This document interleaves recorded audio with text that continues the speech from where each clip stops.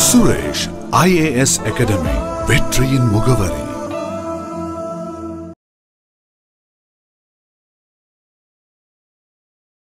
அனைவருக்கும் வணக்கம். இப்போ நடந்த குரூப் ஃபோர் தேர்வில்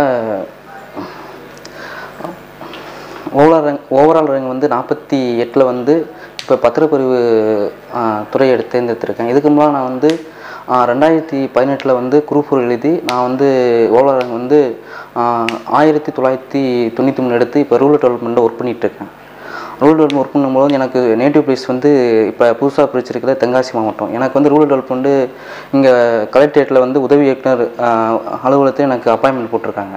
எனக்கு அங்கே ஒர்க் ஒர்க்கிங் டைம் வந்து நைன் ஓ கிளாக் மேலே இருக்கனால எனக்கு இந்த டிபார்ட்மெண்ட் செட் ஆகாது.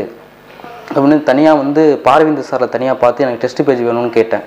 அவர் எனக்காக வந்து டெஸ்ட் பேஜ் மட்டும் ஃப்ரீயாக அட்டன் பண்ண சொன்னார். ஆனால் டெஸ்ட் பேஜ் அதுக்கப்புறம் அட்டன் பண்ணி தனியாக டெஸ்ட் பேஜ் மட்டும் அட்டன் பண்ணால் வேறு எதுவுமே எனக்கு படிக்க கூட டைம் கிடைக்கல. அதை வச்சு நான் படித்து இப்போ அதுக்கப்புறம் அதை வச்சே ஃபோக்கஸ் பண்ணி டெஸ்ட் பேஜ் மட்டும் தான் வேறு எதுவுமே நான் எதுவும் ஃபாலோ பண்ணலை.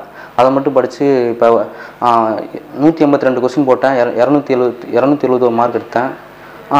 போய் இப்போ இப்போ பத்திரப்பு துறையை தேர்ந்தெடுத்திருக்கேன்.